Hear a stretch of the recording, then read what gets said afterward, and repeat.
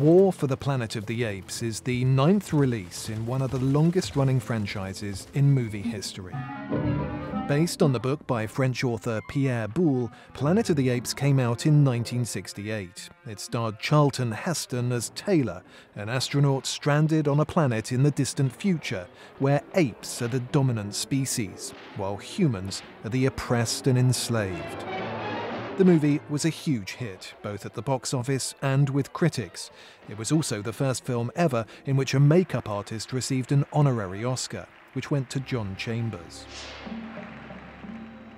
But Planet of the Apes is probably best remembered for its ending. God damn you all to! One of the most iconic images in movie history. Taylor discovering a ruined Statue of Liberty and realizing he's been on Earth all along. Planet of the Apes was followed by four sequels between 1970 and 1973 Beneath the Planet of the Apes, Escape from, Conquest of, and Battle for.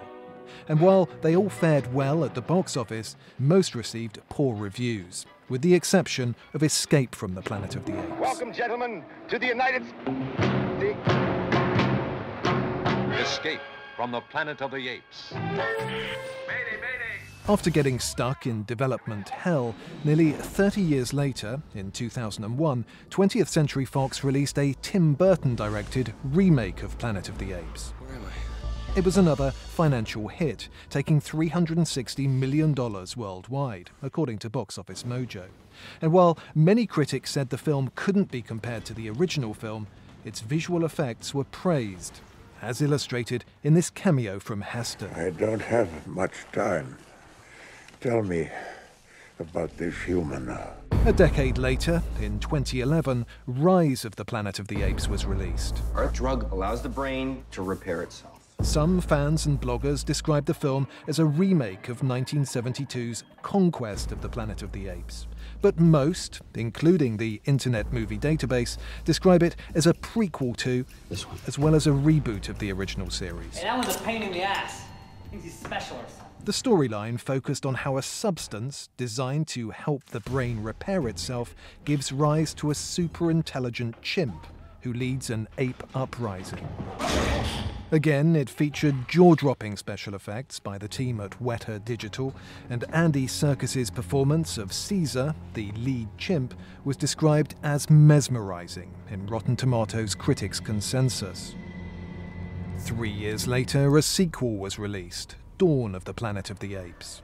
By now, the virus that increased the intelligence of the apes has killed most humans. And Caesar struggles to maintain peace as the apes are drawn into a war with those who've survived. Apes! Do not want war! It was met with critical acclaim, matching Rotten Tomatoes' 90% aggregate review score for the original 1968 film. Dawn also bettered the worldwide box office total of the previous film, taking $710 million, compared with Rise's 480 million. In War for the Planet of the Apes, the battle against the humans continues as Caesar wrestles with his darker instincts and begins his own mythic quest to avenge his kind. It's a film in which, again, Weta Digital blur the lines between what is and isn't real.